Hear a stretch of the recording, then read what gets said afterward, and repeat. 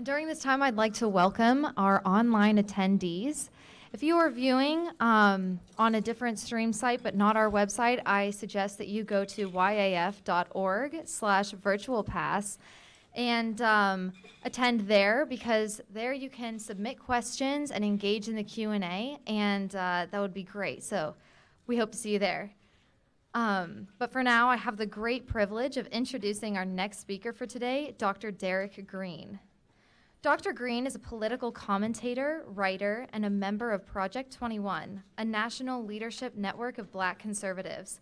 And he is a contributor to the National Center for Public Policy Research. He is also a faculty member at Prager University and has a video course called Who Are the Racists, Conservatives or Liberals, which has been seen almost 2 million times across various social media outlets. Dr. Green strives to tell the truth in an increasingly deceptive world. Dr. Green provides analysis on economic policy, the intersection between culture and race, pro life issues such as abortion and capital punishment, religion, immigration policy, and other political issues. He is committed to addressing mainstream lies and manipulation in the political realm.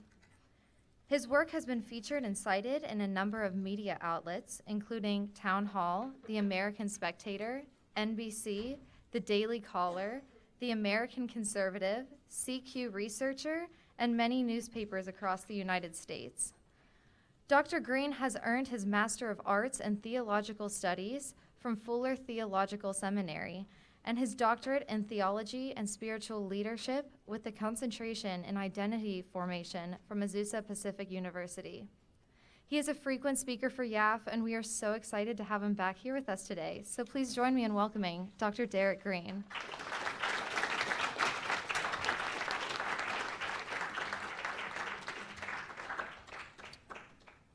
Good morning. Good morning. Good morning. Good morning.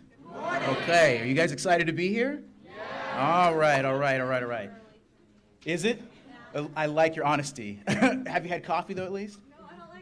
Oh my gosh. So, soda? Yeah. Okay, there. Okay, well, we got to get you one. Um, again, my name is Derryck Green, and I am a member of Project 21, which is a leadership network of black conservatives. And um, it is sponsored by the National Center for Public Policy Research. And what, that, what the National Center allows people who are members of Project 21 to do is to come and address audiences such as this, uh, to kind of let cons- fellow conservatives know that uh, there are black conservatives, that we do exist, but also to tell the wider world that conservatism should not be and is not relegated to a specific color. Uh, it is a political philosophy and an idea that transcends uh, color, uh, ethnic composition, and the like. And so, Project 21, we go out and we talk about things like uh, immigration policy, uh, the economy.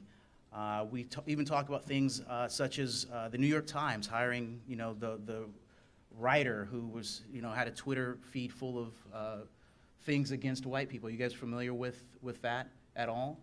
Well, we, we talk about that as well. Um, and so we're, we're, we do not narrowly confine our, our topics to just race, but we like to incorporate it uh, because it still seems to, to, to be that race is, is, a, is a sensitive issue. And specifically, it's sensitive because the left controls the debate and the conversation when it comes to race. And we as conservatives haven't really developed the, the specific talent of dealing and talking about racial issues from a human perspective.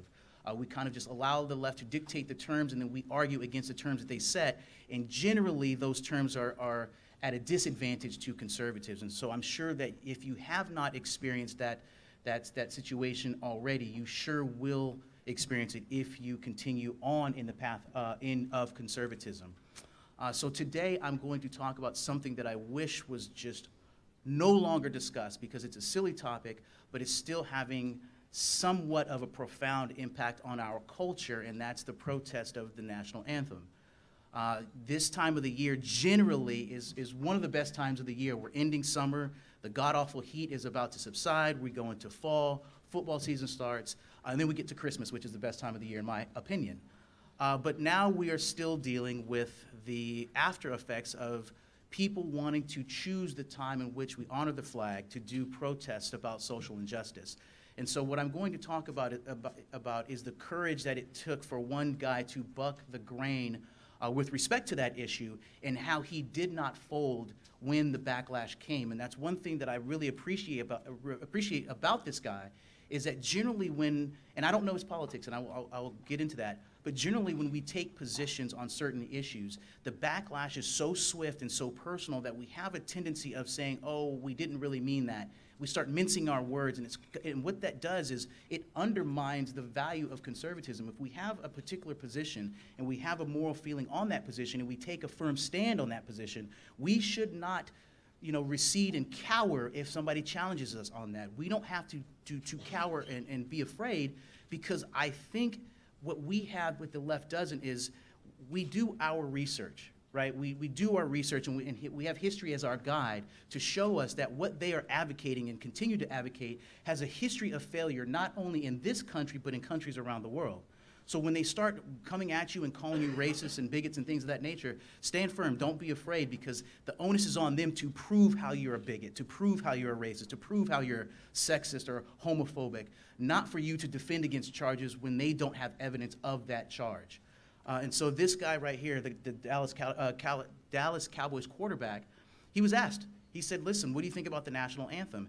And uh, you know, he said, "Listen," and I'm going to quote him. He says, "I never protest during the national anthem. I don't think it's a time or the venue to do so. The game of football has always brought me such peace, and I think it does the same for a lot of people. Uh, a lot of people playing the game, a lot of people watching the game, and a lot of people who are part of the game.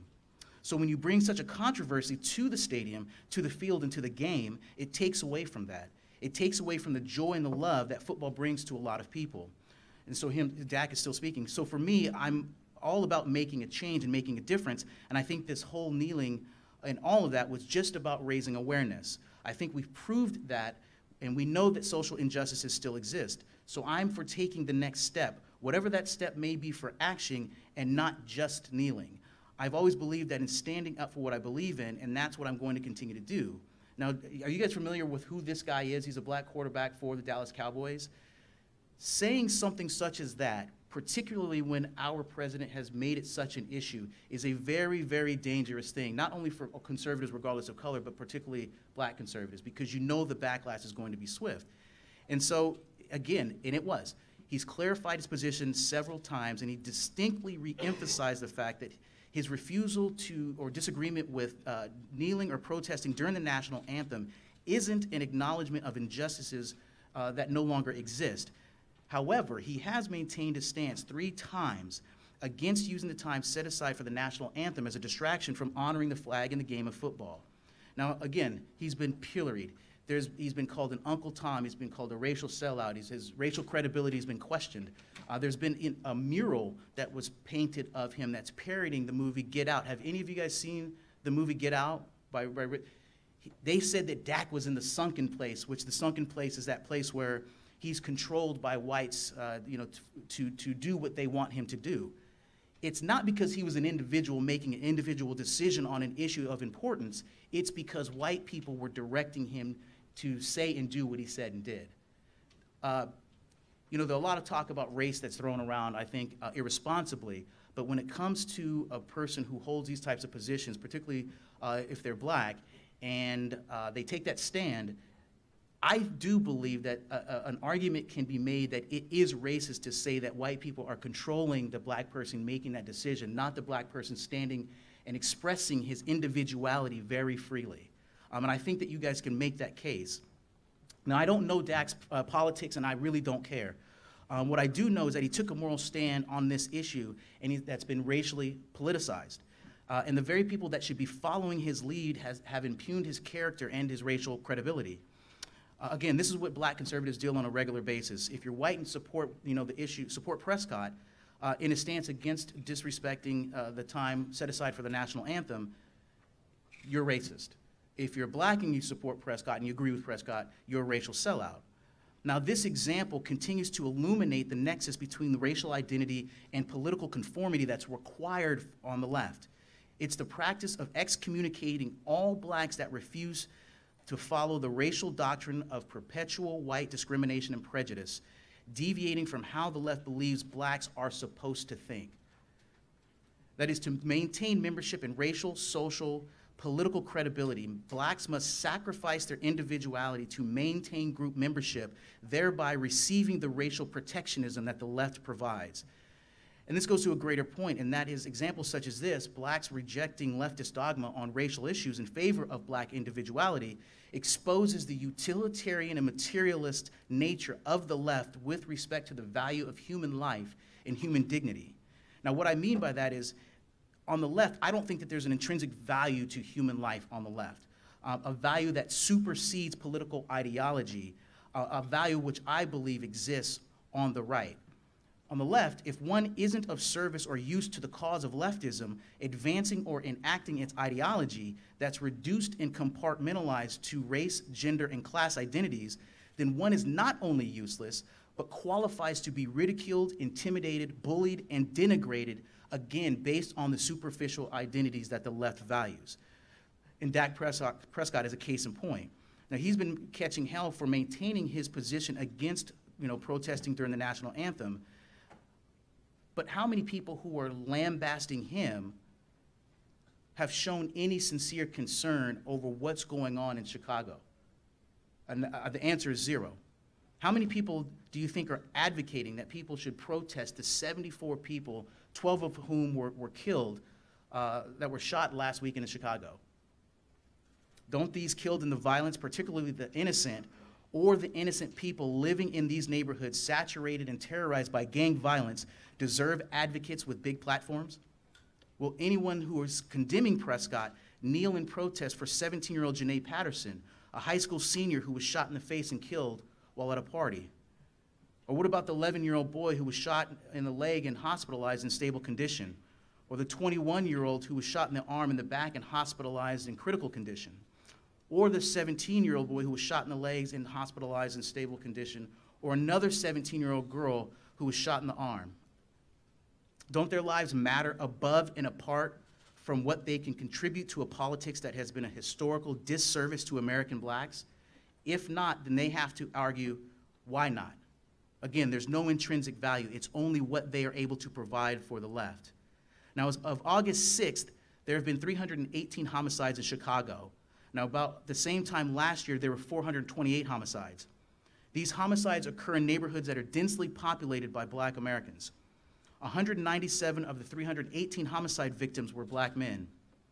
Now, in the last 365 days, of the 569 homicide victims in the city of Chicago, 414 have been young black men. As of yesterday, 1,837 people had been shot in Chicago this year alone. Now, when we compare that to what this protest is about, they say that it's to bring attention to police brutality and the disproportionate numbers of black men who are shot by police officers. That too, that statistic too, is just simply doesn't hold up under, under the evidence. Thus far, 625 people have been shot this year by police. 114 have been black. 13 have been unarmed, and six of those shot were trying to flee or evade arrest. Only seven unarmed blacks have been shot and killed by police so far this year, four of whom had mental illness. So this is no, by no means the issue that the left has made this out to be. So there's no reason to take up time during the national anthem for this issue. That isn't to say that this issue isn't an important one, but we have to prioritize our outrage, and I don't think that the left is very good at doing that. So why are we not protesting for them? Why haven't there been any well-organized protests accompanied by national media with activists saying the kinds of things to Mayor Rahm Emanuel and the Chicago City Council that was said to Marco Rubio and about the NRA after the Parkland, Florida mass shooting. As a matter of fact, the NRA isn't even brought up in this issue at all. And why, why not? Because it's politics. Blacks who were shot and killed in mass shootings are of less importance, are less sympathetic to the viewing public, and are of lesser value to the left. When it comes to quote unquote mass shootings, white lives matter more than black lives also bringing attention to the human sacrifice on the altar of Chicago streets undermines the narrative that, quote, more common sense gun laws will stop gun violence. Further still, by acknowledging who's to blame, specifically black gangbangers with extensive criminal histories who own and use illegal guns, in addition to the cowardly Chicago politicians who refuse to place fault precisely where it belongs, the Democrats would put themselves in a very precarious position they would appear to be blaming, or the racists, because they would be, appear to be blaming the victims. Because the left depends on the black vote, it cannot afford to discourage or uh, offend such a reliable voting bloc. So, in essence, black votes matter, black lives don't. The city knows what needs to be done, it simply doesn't have the political will to do it. But it shouldn't be that way for conservatives. Now, to bring it back to Prescott, it's okay to, to agree with his position. I agree with his position. The anthem isn't the proper time to protest what one perceives to be a social injustice. But at the same time, though we disagree with this particular injustice, blacks being racial victims of police brutality, we can agree that discrimination still exists. Admitting as much is intellectually honest and it doesn't cede racial issues or the parameters of racial discussions to the left. However, what conservatives should say or argue or advocate is finding the extent that racial discrimination against American blacks exists, which means condemning real racists and not exaggerating their numbers or influence. But it also means finding if blacks contribute to racial resentment, which could be construed as or lead to discrimination. Also, when dealing with issues like what's happening in Chicago, we should accurately point out who or what is to blame and separate the cause and source of blame from the innocent victims. In other words, we have to be the responsible ones that deal with the issues honestly and respectfully, even when it's not advantageous politically. In this case, it's acknowledging the problem of illegal guns and the criminals who use them to terrorize their communities. Our politics should advocate laws that punish lawbreakers regardless of their race. If these laws disproportionately affect one group of people over another, we can acknowledge that. In this case, it disproportionately affects criminals. But conservatives can also persuasively demonstrate that the consequences of a policy that leads to one group's overrepresentation isn't by definition reason enough to change laws to reduce representation. Now, still using the, the, situation with Chicago, we know that legislating soft punishments for criminality gives no peace and security to the neighborhoods that are many times terrorized by repeat offenders once they're released. Because blacks are overrepresented in violent crime and in prisons, the left uses racial justice as a defense and legitimization for reducing the sentencing of so called nonviolent criminals. Now, this practice is proven dangerous because too many criminals are allowed to plead guilty to lesser charges.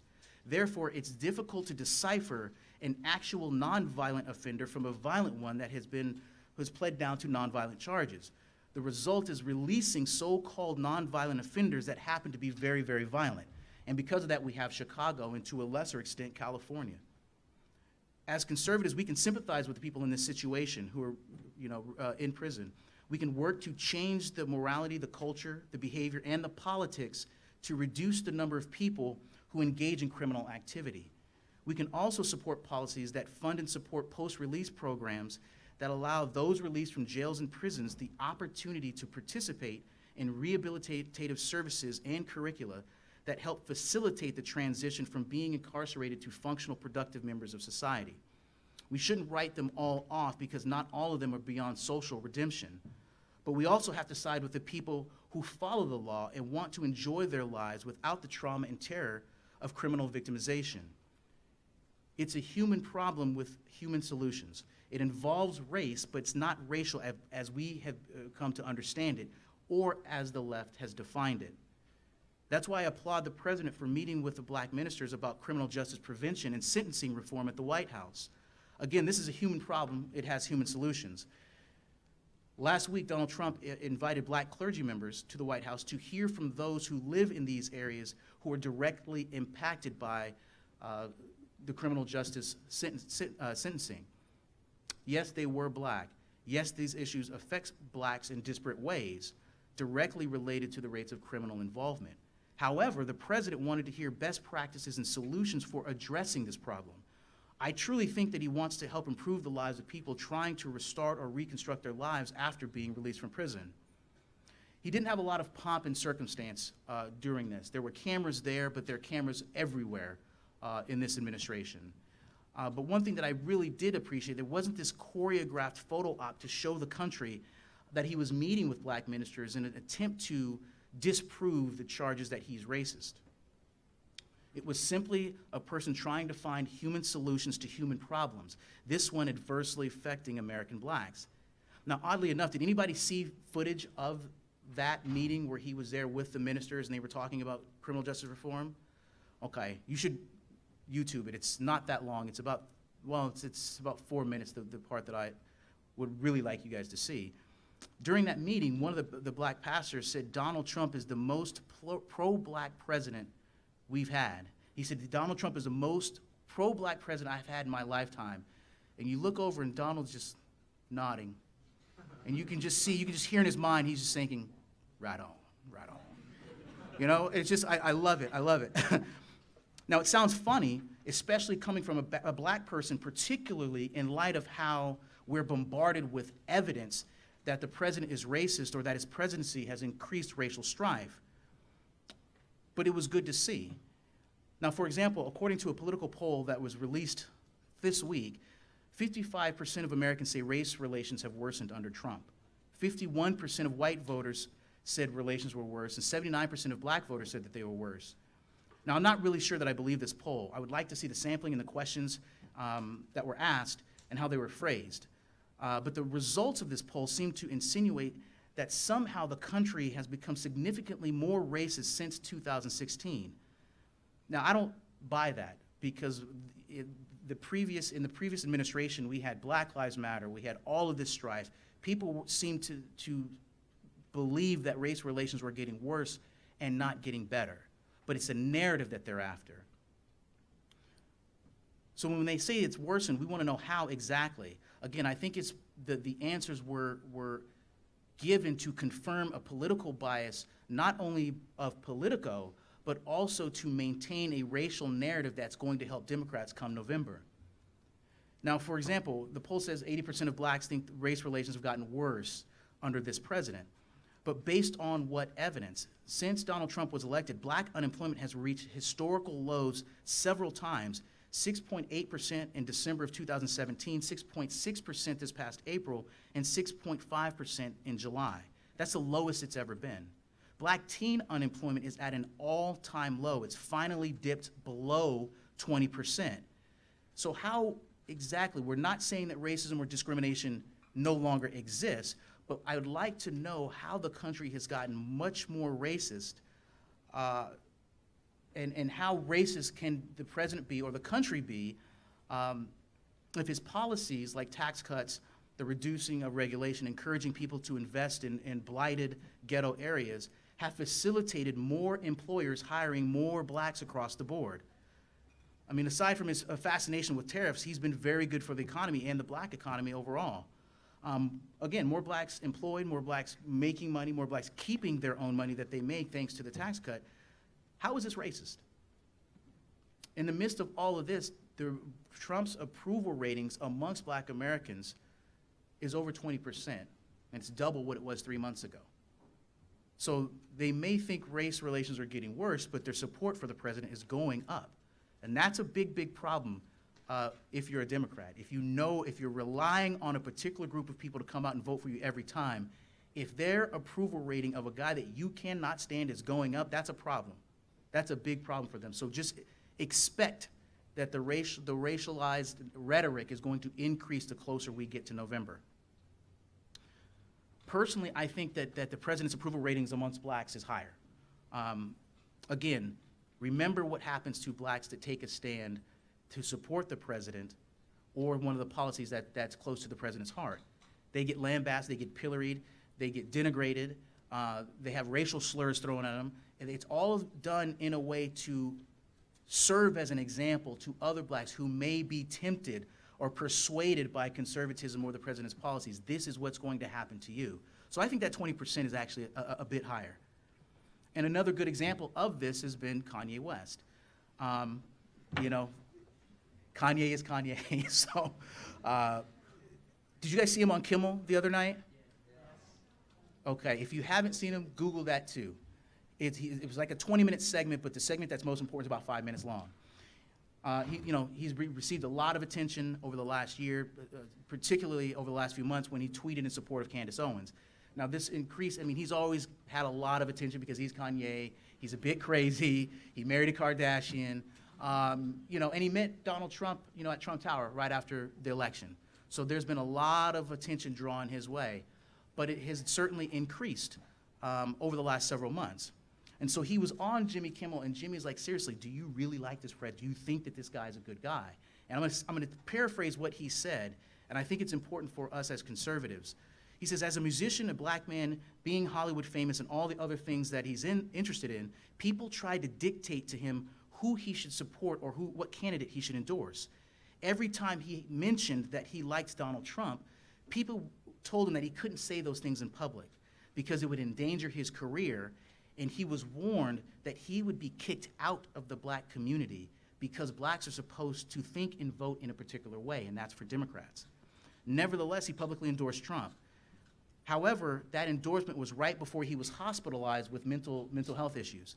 That hospitalization, he says, resulted in a loss, a loss of confidence. Confidence he said he needed to deal with the backlash that came with being black and publicly supporting Donald Trump.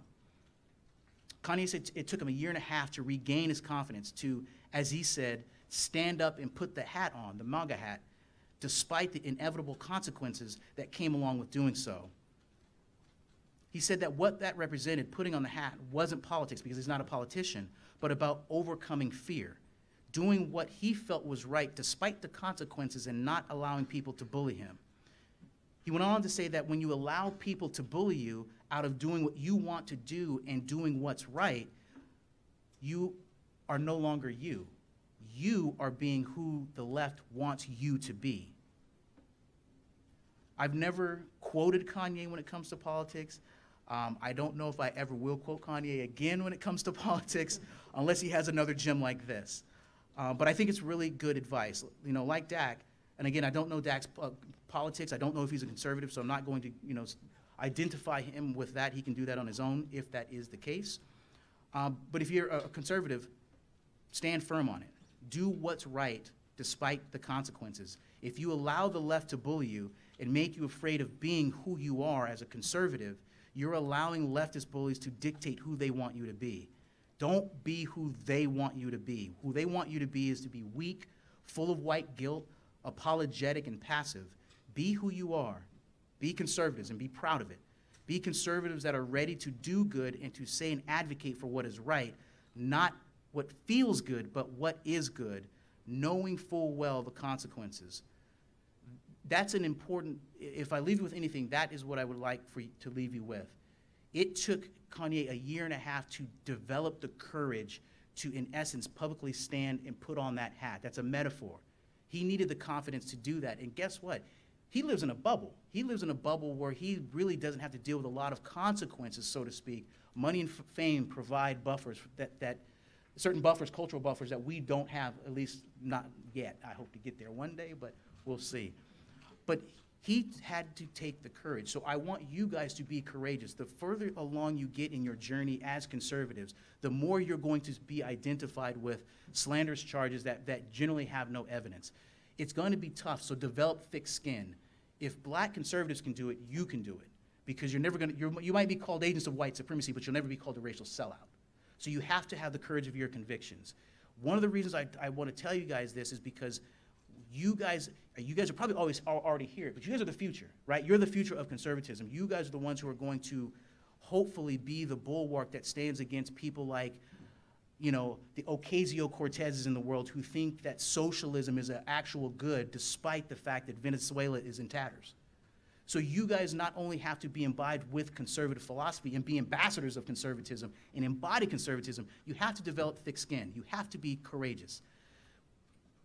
The country needs you. But you guys need to be bearers of the message to go out to, to general demographics that may not be all that receptive to the message and the political philosophy of conservatism. They've been lied to. You guys are there to show them how they've been lied to, but to show them the right way. Now, I don't want to make it sound like you guys are white saviors going into black distressed communities. That's the left. The left has a savior's complex. They have a messiah, messiah's complex. They create problems the problems metastasize, they blame conservatives, and then they tell the people who are affected by the problems that they created that they need to revote them in to solve the problem that they created.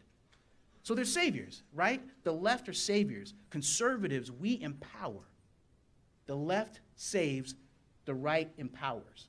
So you guys have to be empower people who don't have the power that they that we know that they can have. Don't be don't be fooled into have this messianic complex. You're not there to save them. You're there to empower them to for them to live full lives and flourish under this idea that we call America. Uh, so I'll leave you with that. So if there are any questions, I'd be happy to take them. Thank you.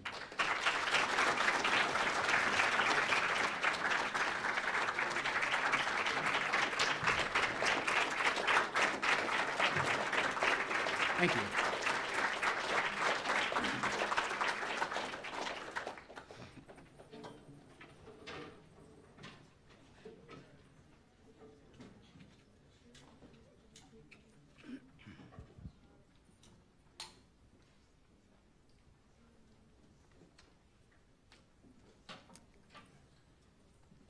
Hello, Dr. Green. My name is Ben Werdy. I'm from Charlottesville, Virginia, Monticello High School.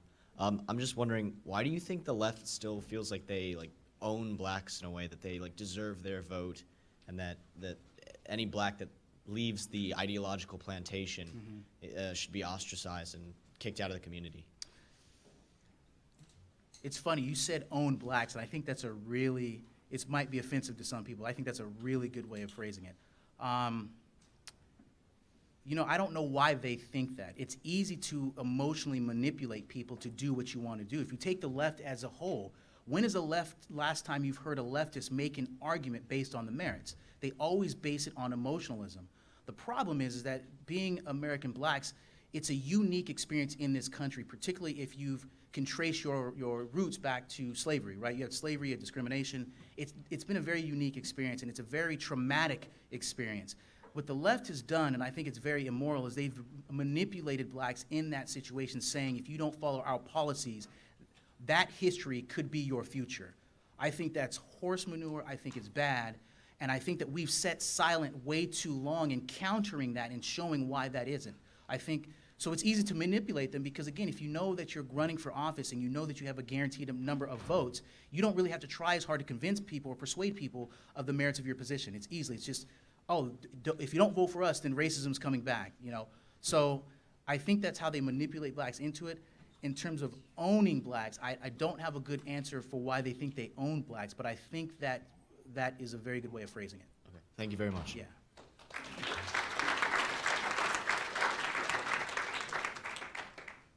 So we have a question from our virtual pass uh, attendees. All right. This is Reg Mar- Marcelino from Sacramento, California. They ask Sacramento. They Where I'm from. what can we do to enca- to counter the victimhood mentality that have black that most black people on the left have? What can we do to conquer the victim mentality? Well, one, reject it outright. Um, I think that one of the one of the things that counters victimization is self-determination um, and individuality. So we can't be lulled into this "woe is me." There's all you know, white you know, privilege and systemic racism are still there. Uh, they're still out to get us. We can't have that mentality because if we think about all of the policies that have been passed, particularly in the last 25 years, we live in a, in a society that actually gives racial preference to black people. So we have to take these opportunities to say we're no, not going to be victimized by the past. We're going to take full advantage of the opportunities that our predecessors did not have, dreamed of, and some who even died of, uh, died dreaming of a day in a country in which we live. So I think that we have to have, be individuals and say we're not going to succumb uh, to what the left or how the left wants to define us. And I think that what we can do, one, is to go back into black history. There are a lot of examples in black history of black self-determination that realizes the situation in which they're in, but not allowing that situation to define them. I think that we've allowed historical of trauma and oppression to define who we are, and it's limited our opportunities and our, our flourishing. So uh, be an individual, reject that. Be who you know you can be and not who the left thinks you should be. Hi, uh, I'm Peter. I got a Crystal Springs Upland School near San Francisco. Okay. And uh, you hear a lot about the culture war mm-hmm. in modern day politics, and I think it's been a pretty uh, obvious strategy of the left to inject racial strife as a key element of the culture war. I think Dak Prescott and the national anthem is a is a prime example. Mhm. Uh, in your experience, at least, what's been the single most effective tactic to bridge that gap and disassociate those two things? it's real. I don't know if there's a single tactic, but I do know that when it comes to those types of things, you're never going to convince a group of people at once. You're more likely to convince individuals, and you have to have the faith that the message that you communicate based on data, evidence, whether, whether it's anecdotal, you know, research, whatever, that that is going to make an impression on the person that you're engaging. So you hope that if it makes an impression on that person, then you've already planted that seed in that person, so you hope that that person plants seeds in other people. You can't go up and say, you know, things that are, are offensive, like, uh, even though I like the, the question about the left owning blacks, you can't go out and say, when are you going to get off the ideological plantation? Because that's going to make people defensive. And most, no matter what it is, people don't respond well when they're playing defense. You have to humanize these problems. I think conservatism, the philosophy of conservatism, and the history of conservatism is very human. You can humanize these things so you can deal with these issues not from a racial perspective, but from, example, an economic perspective, right? Who doesn't want to have um, economic opportunity and mobility? Who doesn't want to move in neighborhoods uh, surrounded by people who they share values with? Who doesn't want to have uh, better education systems for their children?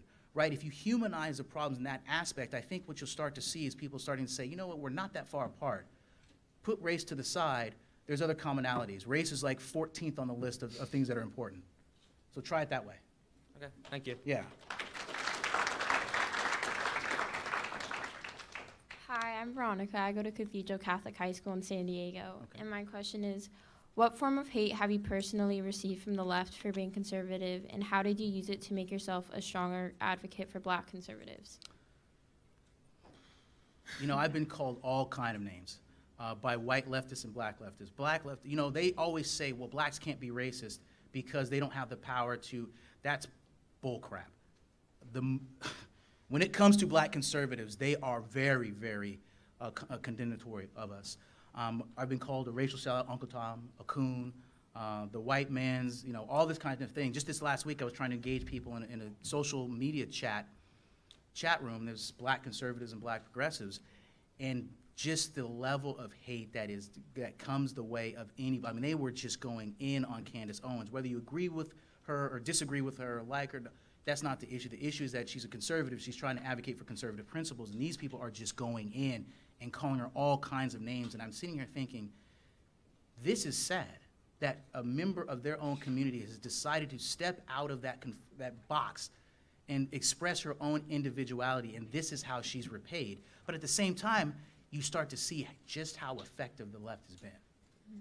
They have been really, really in- effective in indoctrinating generations of blacks in the idea that whites are racist and blacks who agree with conservatives are self hating honestly, I, every time I see it, I see how bad the problem is. But as, as somebody just told me this last week, I have a habit of gravitating to very difficult problems. And so it, the problem is hard, but the, you shouldn't allow how difficult the problem is absolve you from your responsibility of continuing and seeing it through. And that's how I see it. I think there's too much at stake. And I would like to see before I go, I die and go to heaven, a significant number of blacks re-embracing their heritage of self-determination and individuality, but are conservatives. And so that's why I do it. Thank you. Yeah.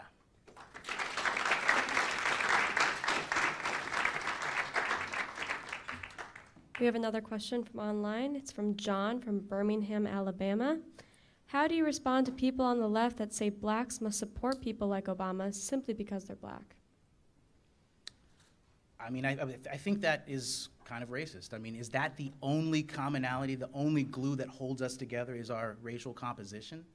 Um, I think it literally is skin deep, and there's no value associated with race. Values comes from different things, and so I understand a certain demographic voting for Barack Obama, at least in 2008, particularly those black Americans who were raised under Jim Crow.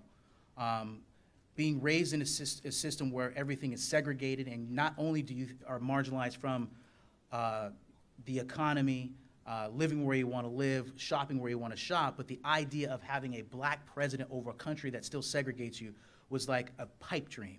So I understand those people voting for him in 2008. I don't, don't understand it in 2012 at all.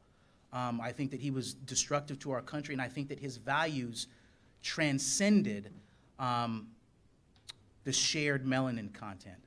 And it was particularly troubling for Christians who are supposed to have a value system that also transcends color, who decided to vote for the president because of his color, despite many of the things that he did conflicted uh, with, with Christian teaching and, and Christian tradition.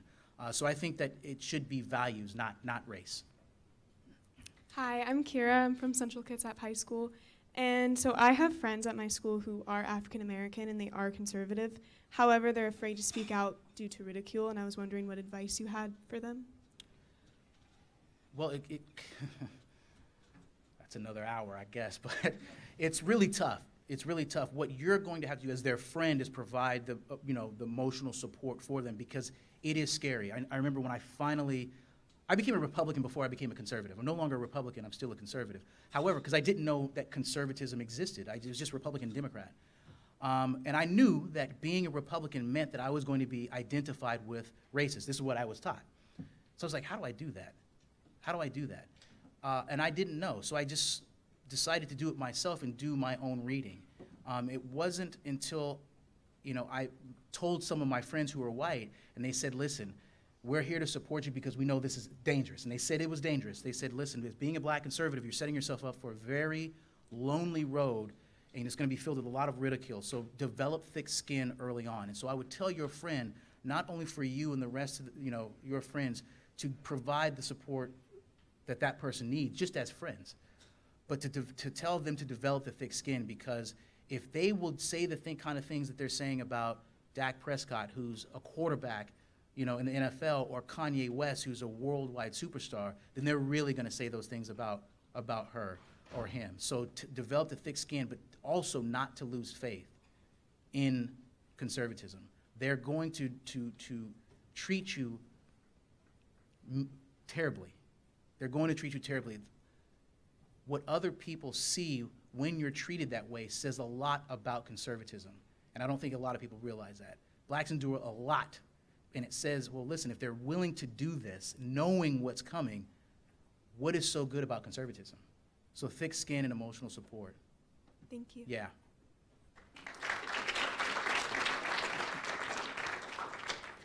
Hi. Hi. Um, I'm Nicoletta from Downey. and Okay. It's like near LA. Yeah. Um, so I was wondering, you said, you kind of said in the last question that um, you were Republican before you were conservative. Mhm. And well, were you anything before that? And like, what made you become a conservative? And what, if, like, w- what were you before and who influenced you? You know, it's funny. I, I, being black, I mean, you're, you're born black and Democrat. You know, that's just kind of the way it is, you know. So I was a Democrat because my parents were Democrats. The interesting thing is that the older I got and the more active politically I became, I realized that what I was seeing amongst Democrats weren't the same values that my parents had instilled in me. Now, my parents were both registered Democrats. They grew up in the South. They raised me to be a conservative without raising me to be a conservative it was the values that they instilled in me. And so what made the change was one, recognizing the values, but two, just start I started reading. You know, I started reading, well, they say Ronald Reagan doesn't like black people, okay, but we share this commonality. Let me read some of what he said. You know, then I started reading Thomas Sowell. Then I read Milton Friedman. Then I read Shelby Steele. And then I started reading, going back and reading Frederick Douglass and Booker T. Washington. And I started thinking, like, this is this is how I feel. This is this is me, and it's not a Democrat. And so, like I said, I didn't know what a conservative was. I just knew what a Republican was. And once I found out what conservatism was, that closely, more closely aligned with, you know, my thought process and who I, I was becoming. And so, um, yeah, I'm no longer a Republican, but I, I still advocate for conservatism. Okay, thank you. Yeah.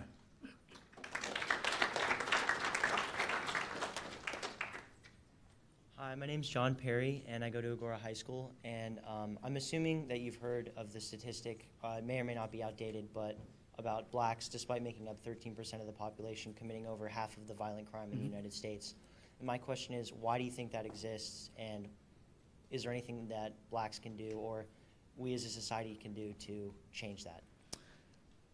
it exists because there's, there's been a moral breakdown um, in black America. Um, you know, I, I, I tie it into the 60s uh, when we had this great, you know, great society programs um, that effectively rendered black men irrelevant, invisible, um, and no longer needed.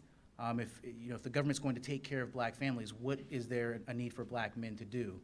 Uh, and so you have that from the political perspective, but around that same time, um, you know, even though blacks are still the most religiously demographic, what we learn in church on Sunday mornings wasn't translating to our lives for the rest of the week.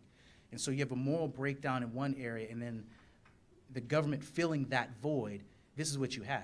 And so it's not even 13% of the population. If you look at it, it's, it's mostly black males between the ages of 18 and 36, which is about 3% of the population. So you have 3 to 4% of the population committing 52% of all violent crimes.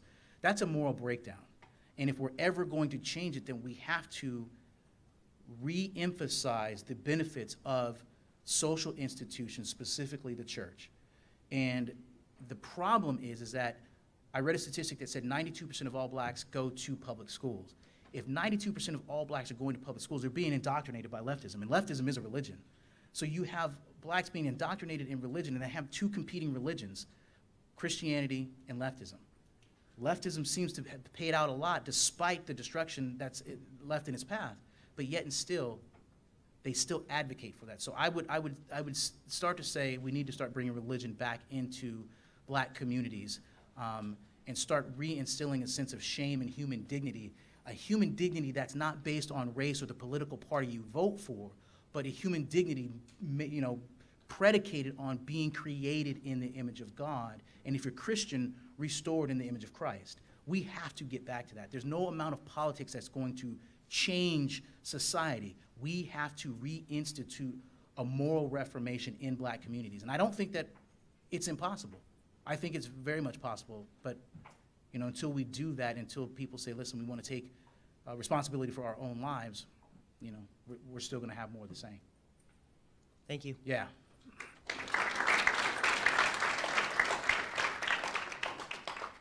We have a question from Catherine from Tampa, Florida.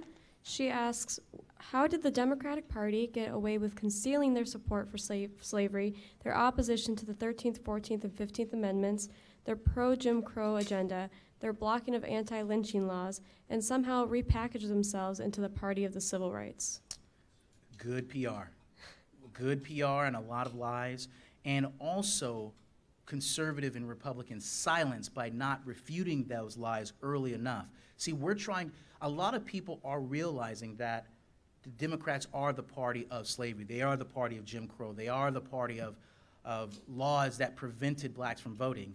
The problem is that we are playing catch up, and when you play catch up, you have to expend a lot more energy doing that than you would have otherwise if you refuted it at the very beginning. And so one of the things that I really still pains me to say is that we don't have good PR. We don't have good messaging. We have good messaging, but our timing is terrible. We allow them to get a head start, and then by the time we say, oh crap, this is a problem, let's try to change it, the lie has already gone around. And so I think it's on you know, the responsibility of you and us in here to effectively communicate this with data over and over and over that it isn't, we, this party still has enslaved you. And again, that is very touchy language, but they are still enslaving you ideologically and mentally and emotionally. If you truly want freedom, this is the way to go. And I think that it's on us, but we just can't simply allow them to dictate uh, the parameters of debate and then play catch up. It's no wonder. So, so our PR needs to improve. So if any of you in here are going into public relations, I think that you will have a lifetime of service, and I think you might be well paid by Republicans and conservatives to help turn that tide. Hi, I'm Colette Waldron. I'm from Manassas, Virginia, and I'm a rising senior, and, at, and I go to Seton School.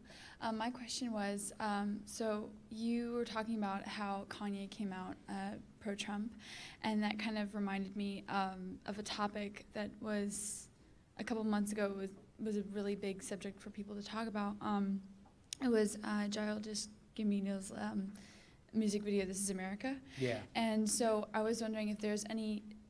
He was talking about a lot of different things that people were just saying that are happening to the blacks and Mm-hmm. how everyone seemed to be portraying that this is how America actually is. This is how America treats its minorities. Mhm. So, do you think there's any kind of argument that backs that up? Like, are those things really that prevalent, or is it was it just kind of political, like just a way to get a political mindset out to It's just a way to get the political mindset out. I think it's, again, it's not to say that discrimination doesn't exist. We know that it exists. Um, we just don't think that it exists to the extent that he says it was. Now, again, if America treated blacks in the way that he said, he wouldn't have to make a video about it because it'd be everywhere. But he had to make a video to try to say that, that, that, that America treats his country bad. I, I find that very, I, I find that misleading. Um, second of all, you know, he, you know, there, in the video, you know, he shows, he reenacts the Charleston shooting. And, you know, that was kind of a visual, it's like, what, wow. But the, the, the, the issue wasn't necessarily the Charleston shooting, although it was. It was the way the community rallied in Charleston and around the country after that shooting. And that was, that's more of what I'd like to, you know, America has its sins, we know that. But that was very characteristic of how America responds in times of tragedy. There were people who didn't matter, black, white, whatever. They were praying for these people. They were coming in, they were holding prayer meetings. They came to Charleston, and that's that right there superseded the evil of Dylann Roof, right? It can't it can't be what he said, like I said, because if it were, he wouldn't have to make the video. Yes, there are problems, but a lot of the problems that blacks face in America are largely at our own hands. And despite being called a sellout, I think blacks have the capability to right those wrongs and demonstrate that we are very, uh, one, that we're American and that we're equal to our counterparts. So that, that video was, it was just political theater. That's all. Thank you. Yeah.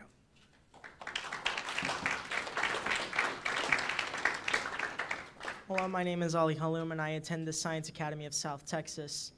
I have a question. What do you think it will take to fix our broken inner cities, such as, you know, Detroit, Chicago, Baltimore, cities like those? Jesus, first of all. As I said, one, two, and three. Uh, Secondly, I think that we need, a lot of those cities haven't had a Republican or conservative mayor for 40, 50, 60, 70 years. So that in and of itself are, are, are very bad examples of what happens when leftism takes over. So I think we need to start making the case, not just because blacks are disproportionately affected, but look at all the lives that have been ruined because of leftism in these incubators in Chicago, Baltimore, St. Louis, Philadelphia. Like, you can make it a race issue if you want. I like to see it as a human issue. All those human lives that have been destroyed because of those policies and a lack of moral formation. So we need to make we need to make that argument. We need more religion and we need more Jesus, but we need politicians who are going to see this as human problems and enact policies that take into consideration the human situation in which they're at, but the flourishing that could happen with the right policies. All right, thank you. Yeah.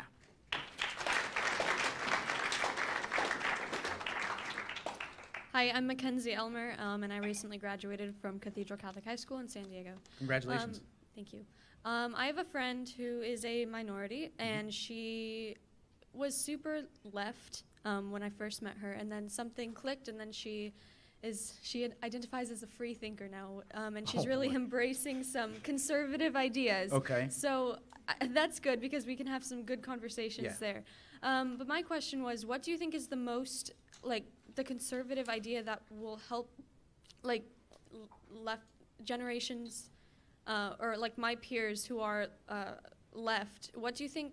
What conservative ideas do you think resonate the most with them to help them like open up their minds? You know, it's a tough one. I don't, I don't know if there's one particular idea, but I do know that people your age are really concerned about justice, social justice or racial justice. And I always say, true justice, and I get my justice from the Bible, the biblical justice isn't compartmentalized with racial, economic, gender, sex. It's just justice. It's an overwhelming totality, totality of how we live our lives. But if they are concerned with justice, start framing it in justice issues. How just is it that you don't allow poor people to choose what schools their children can go to. If we're talking about fairness and equality, how is that fair or equal? Right? Like, how is it, how is it fair, how is it just that the government dictates a minimum wage in cities in, in, in which there's a large unemployment rate, particularly of people who have no skills or low skills? You're confining them to unemployment, perpetual unemployment, because that mandated minimum wage isn't equal to the skills that they bring to the table. How is that just or fair? Right? Mm-hmm. So if you start framing these issues in a just way to say, okay, listen, let's move all of these other uh, the side dishes away. We're not going to do the race, gender, class thing. Let's just take it from a human perspective. How is this fair or just? And I think that that has been successful because then they start looking at it and say, oh, okay, well, this really isn't socially just. This is actually very much unfair to the very people who it's intended to help. So you start framing it in, in ways like that. I found some success. Thank you. Yeah.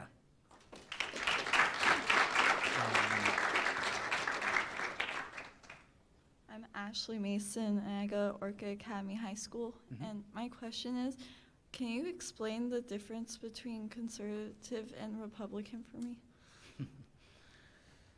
Another hour. I don't know. um,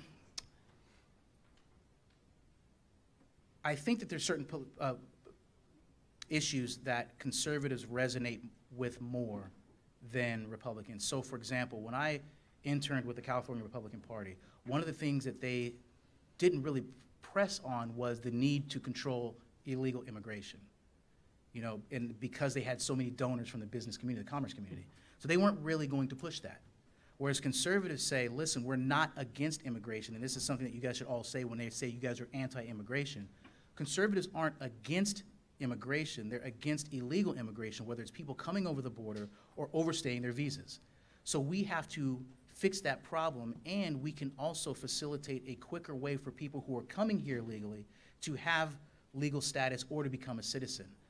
Sometimes Republicans don't want to go that route because it's too much heavy lifting.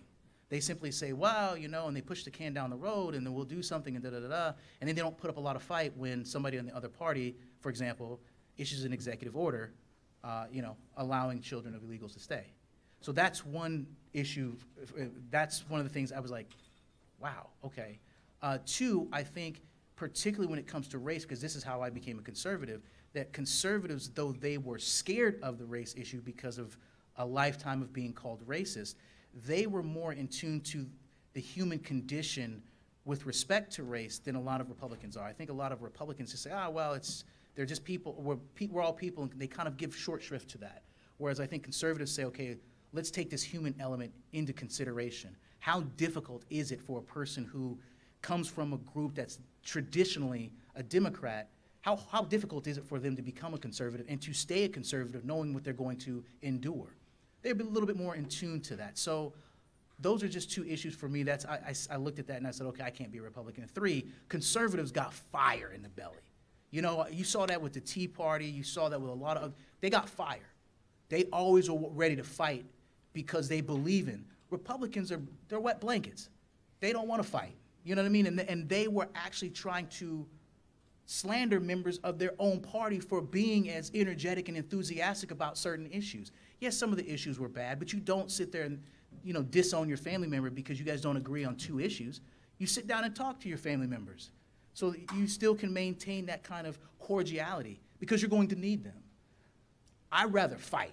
I don't want to be a wet noodle. Wet noodle gets leftism progressing further and further and further in a way that, that isn't good for us. So those, those are three of the, the, the issues where I say there's a clear distinction. Thank you. Yeah.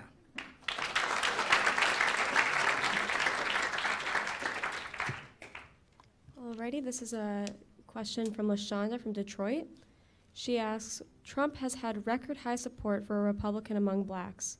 How can we how can he build on this and grow black support for the GOP in general 2020? Well, if his approval rating right now is 20% against black for blacks overall, and I think it's 21% for black men. So I think that if he continues doing what he's doing in terms of passing legislation um, that encourages people to hire uh, more blacks, uh, again, invest more in uh, disparate communities.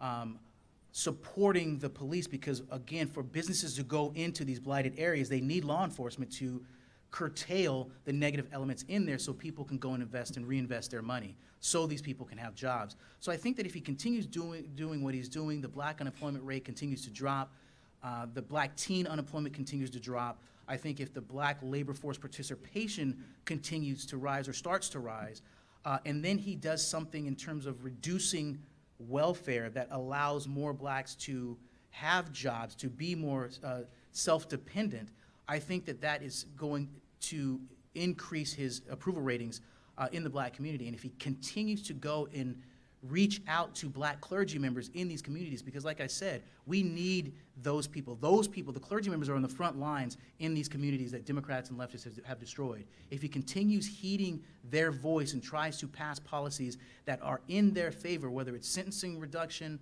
uh, more jobs, whatever the case may be, I think that his approval rating is going to either stay in the 20s or at least, uh, you know, get a little bit higher. I would like to see it uh, in the 30s. I'd like to see every person, every black person asked publicly, do you support Trump? And they say no, but when election time comes, 30% of blacks voted for Donald Trump. That would be awesome because then the left wouldn't know what to do. But that's what I think that he, that's a start, what I, what I, think, he, what, what, what I think he could do to improve his approval rating amongst blacks.